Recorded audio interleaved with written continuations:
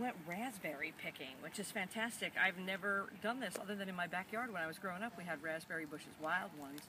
But now here we are at Kristy's barn and picking raspberries. Some not ripe, some a little too ripe, but we got a bunch that were just right. We're going to go home and make a wonderful recipe with that I will share with you on the blog. It's going to be a whole lot of fun. Thank you for coming, not apple picking. Sorry, bees are on my ankles. this is what happens when you go, you know, picking things uh, on an 80 degree day when it's supposed to be 65.